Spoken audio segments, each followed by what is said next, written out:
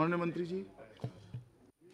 Honourable speaker with your kind permission I rise to move the bill further to amend the Delhi special protect police establishment act 1946 be taken into consideration कुछ बोलना चाहेंगे माननीय मंत्री जी? वैसे at the time of introduction sir इस बात को उस समय भी स्पष्ट किया गया था।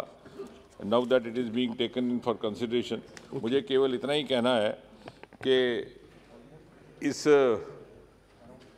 अमेंडमेंट के माध्यम से जितना बड़ा विवाद हो रहा है उतना विषय नहीं है।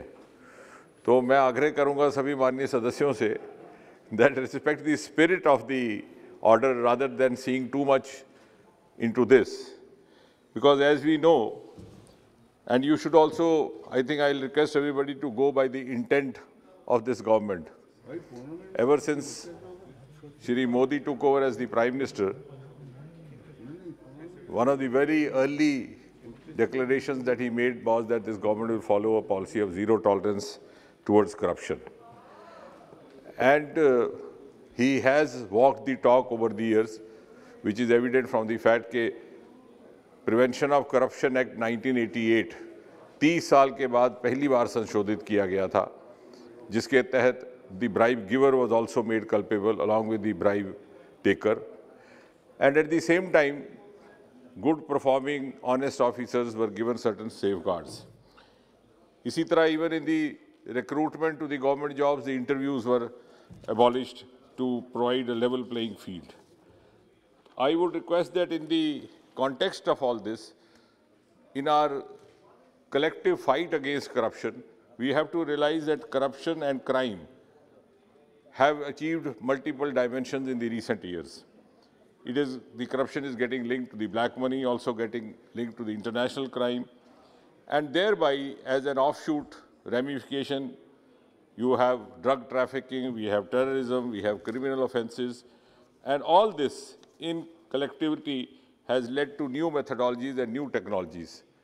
अब इसमें अगर किसी संस्था का कोई अधिकारी या मुखिया अगर एक जाँच कर रहा है या इन्वेस्टिगेशन कर रहा है तो it require certain amount of continuity and at the same time besides institutional continuity individual continuity का महत्व ये बन जाता है कि बहुत सारी ऐसी जानकारी होती है जिसे कॉन्फिडेंशियल रखना अनिवार्य होता है।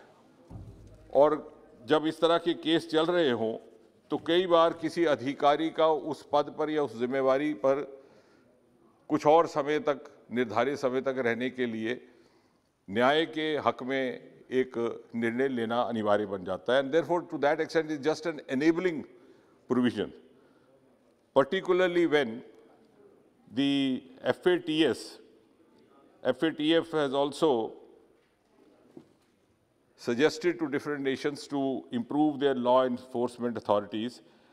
And uh, I will quote, one of its report says, countries should have in place process to ensure that the staff of these authorities maintain high professional standards including standards concerning confidentiality, and should be of high integrity and appropriately skilled.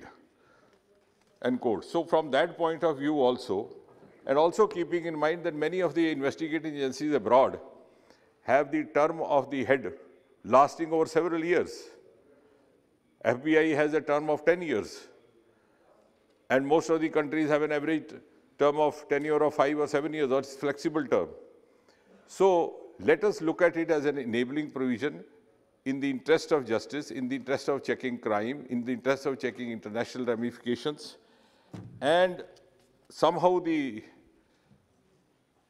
the misgiving has gone in that there is an attempt to extend the term of the head of the institution, which is not so.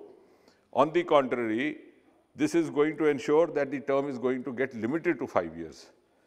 क्योंकि जो पहला act था CVC 2003 में if we read it carefully it says tenure not more than 2 years it does not say tenure up to 2 years now we are introducing tenure up to 5 years maximum so in fact we are doing precisely what some of the honorable members of opposition want to be done we are actually restricting the government not to go beyond five years. Which, so I think let's, let's discuss in that spirit. Thank you, thank you.